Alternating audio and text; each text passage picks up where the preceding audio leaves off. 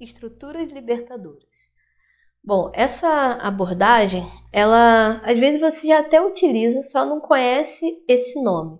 Você já se viu em uma palestra, por exemplo, onde o palestrante está lá na frente, fala, fala, fala, fala, ou até mesmo você é essa pessoa que fica, fala, fala, fala, fala.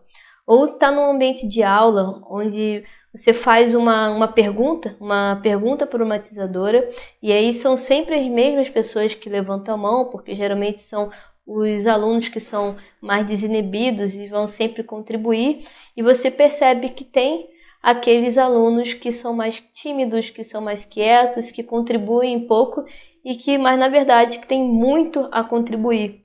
Ou num ambiente onde tem muitas pessoas falantes e aí você faz essa uma pergunta disparadora e um monte de gente quer contribuir e fala durante muito tempo e tem uma dificuldade, a gente acaba ficando com uma dificuldade de gerenciar o tempo de fala de muitas pessoas, né? E aí a gente pode pensar numa sala com cinco, mas pode pensar num ambiente aí com 100 pessoas e o quanto que isso poderia ser um dificultador, né, para aquele ambiente ali de aprendizagem. Então essa abordagem, ela vem exatamente para poder nos ajudar a, a atuar, né, nesse, nesses espaços. É, se a gente for pensar nesse nome, estrutura libertadora, sempre vem uma frase logo de cabeça, que é um mínimo de estrutura para o máximo de liberdade, um máximo de criatividade. Então existe 33 estruturas libertadoras e eu vou falar aqui sobre três delas. E vou deixar aqui também o, o site do, oficial para a gente poder estudar um pouco mais sobre essas estruturas, quem quiser se aprofundar é, nesse assunto. Então, a primeira, que é a mais básica, e às vezes você até já faz, é o 1, 2, 4 todos. O primeiro passo é uma, um cenário, problema ou uma pergunta que vai direcionar é, a, a estrutura, vai direcionar aquela aula, ou um vídeo que eu quero passar um filme para aquela, aquela turma, por exemplo. Então, inicialmente, eu vou pegar aquela pergunta e falar é, o que, que vocês acham sobre tal, tal assunto? Individualmente, pense durante três minutos sobre essa pergunta. E aí a gente vai para o primeiro passo. Então, individualmente, cada um vai pensando, anota, registra ou só pensa mesmo. É, depois que se passa três minutos, é o passo 2 então, agora em duplas. Em duplas aí, fazem duplas com o seu colega do lado e pense, troca informação aí sobre essa pergunta aqui. O que que vocês, enquanto dupla, é, então chegam à conclusão? E aí tem que ser um consenso. Por exemplo, se você quiser começar já a trabalhar o trabalho em equipe, trabalhar a inteligência emocional, então essa dupla vai chegar a um consenso. Cinco minutos para isso. Passando os cinco minutos, agora em quarteto.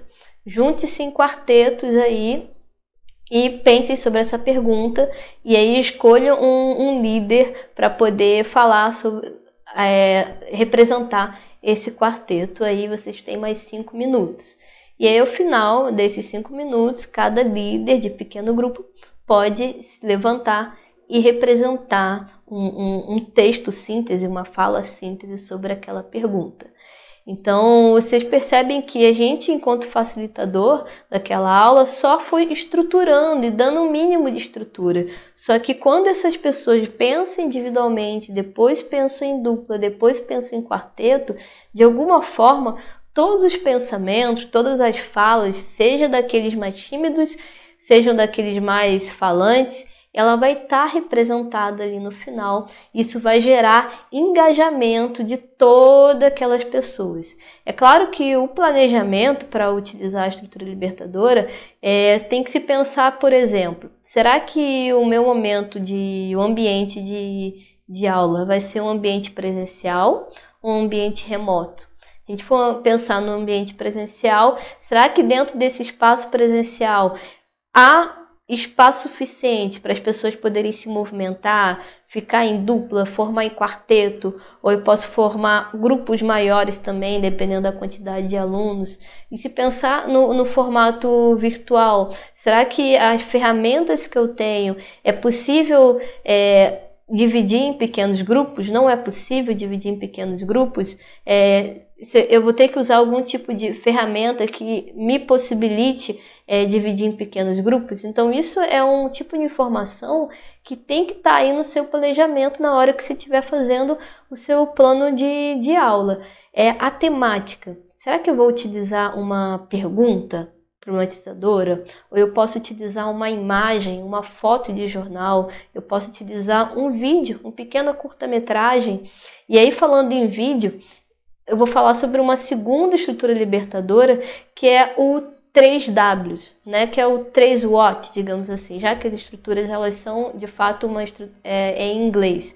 Mas fazendo a tradução dos 3Ws seria acabou de passar um vídeo, um, um pequeno curta-metragem. E aí você vai perguntar para essa turma o quê? O que vocês percebem? O que vocês estão vendo? O que vocês é, pensam depois de ter visto esse, esse vídeo? E aí você pode voltar lá na estrutura do 1, 2, 4 todos, pedir para as pessoas pensarem individualmente, em dupla, em quarteto, ou esse primeiro momento é individualmente, o que, que vocês acham sobre esse vídeo? E aí depois a segunda pergunta é, é e daí? É, que tipo de hipótese, o que tipo de, de, de, de afirmação vocês percebem depois que olharam esse vídeo? Agora fiquem duplos aí para poder conversar sobre essa, essas hipóteses. E aí, num terceiro momento, que aí pode ser também em dupla ou em quarteto, é o que vai se fazer a partir daí? Então, como que vocês em pequeno grupo, como turma, pode interferir nessa, nessa realidade, é, naquilo que foi constatado nesse, nesse pequeno curta-metragem que foi passado. Então, essa também é uma outra estrutura. E tem uma estrutura que são os nove porquês, que ela é muito boa quando a gente quer aprofundar é, justificativa, fazer com que as pessoas cheguem na raiz daquela, daquela questão daquilo que se defende. Então, o nove porquê geralmente é feito em dupla, e aí a gente pergunta, por exemplo, uma pergunta mais simples: qual é o seu sonho? Então, em dupla, o aluno A e o, aluno B. O aluno A fala: e aí, qual é o seu sonho? E a outra pessoa vai falar: o meu sonho é tal, tal, tal. E aí o, o primeiro estudante fala: tá, mas por que isso? Segundo, ah, por causa disso, disso, disso, disso. E aí, mas por quê? Ah, por causa disso, disso, disso. Tá, mas por quê? E aí a ideia é fazer nove porquês, né? Ter essas nove rodadas de porquês. E, é, e aí pode até ser aquele porquê de, de, de, de uma forma de brincadeira mesmo. Tá, mas por quê? Mas por quê? Por quê? Toda vez que o, o, o a pessoa A estiver perguntando para o B o porquê, esse B, vocês percebem que ele, ele tem que pensar e aprofundar e falar: caramba, eu realmente defendo essa ideia por causa disso, disso, disso. Tá, eu defendo também, eu quero isso por causa disso, disso, disso. E aí vai se aprofundando aquela justificativa. Então é um outro tipo de estrutura libertadora que ajuda também a gente poder trabalhar de forma mais ativa é, aquele ambiente de aula. É, então, assim, aqui, aqui vai estar tá o, o, site, tem um site oficial com as 33 estruturas libertadoras, é muito bacana e são coisas bem simples. Eu falei aqui sobre três e basicamente não precisei de nenhum tipo de grande recurso, a não ser um espaço, a não ser uma divisão em pequenos grupos, para poder fazer com que aquele ambiente de aula fosse um pouco mais, é, os meus estudantes tivessem um pouco mais de protagonismo, na verdade, de total protagonismo, porque com a estrutura libertadora, eu, enquanto educadora, na verdade, estou somente facilitando aquela conversa, aquela criação de ideias, de trocas de informação. Então, a estrutura libertadora é isso. E aqui vai ficar algumas outras informações a mais sobre eh, as estruturas libertadoras.